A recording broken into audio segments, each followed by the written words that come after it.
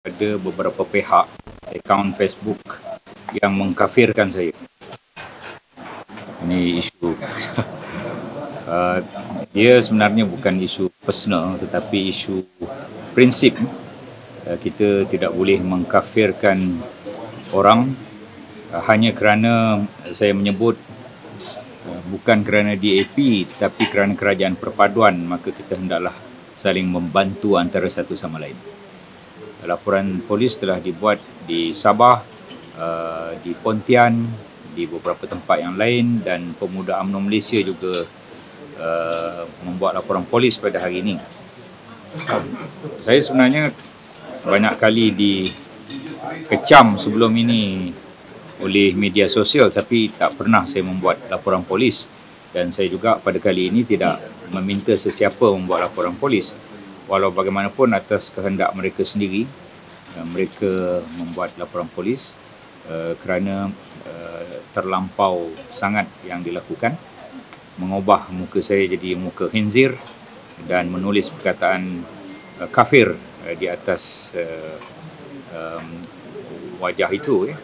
jadi hanya kerana saya membuat satu kenyataan hasil daripada pertanyaan pihak media pada hari Jumaat lepas uh, saya kira pihak polis uh, tentunya akan menyiasat perkara itu.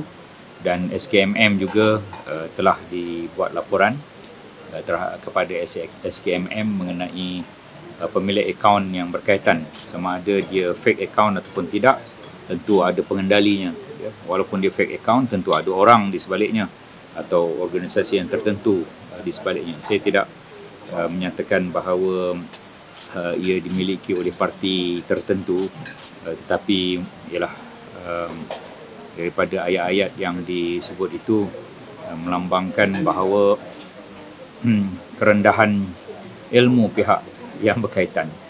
Uh, saya ingin maklumkan bahawa PAS pernah bersama DAP uh, pada gabungan Pakatan Rakyat sebelum ini dan PPBM juga pernah bersama DAP. Presiden PAS pernah menyebut bahawa undi calon DAP Presiden PPBM juga pernah menyebut undi calon DAP. Uh, kami tidak pernah mengkafirkan mereka lah. Uh, ia tiada kaitan dengan akidah pun. Apabila DAP telah um, menandatangani apa yang dipanggil sebagai deklarasi Malaysia baru, tak silap saya pada tahun 2019, mereka memperakui empat perkara Islam, Melayu, Raja, Bahasa. Uh, dan boleh dirujuk dalam laman web mereka. Yang ini menunjukkan bahawa uh, tidak ada perkara uh, yang ada kaitan dengan akidah dan sebagainya apabila kita bersama dalam kerajaan perpaduan ini. Sekali lagi apa yang saya sebut sebelum ini saya kata bukan atas nama DAP tetapi atas nama kerajaan perpaduan kita saling bantu-bantu antara satu sama lain.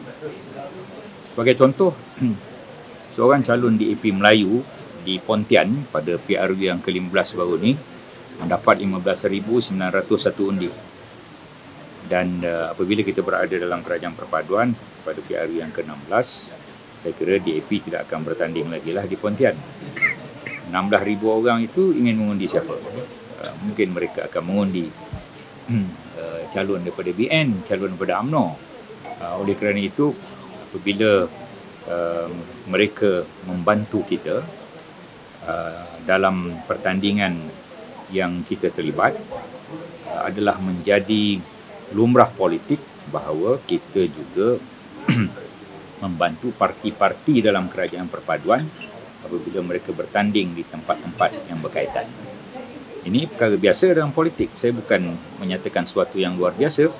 Tetapi kecaman itu apabila hmm, tajuk-tajuk pemberitaan menyebut bahawa Uh, saya minta ahli UMNO uh, mengundi DAP tajuknya begitu rupa uh, maka timbullah uh, tuduhan-tuduhan yang amat uh, menjelekkan.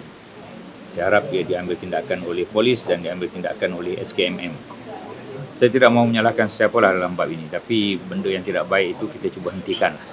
Jika dia boleh berlaku pada saya maka dia boleh berlaku juga pada orang lain. Kita ingin keharmonian uh, dalam berpolitik di negara kita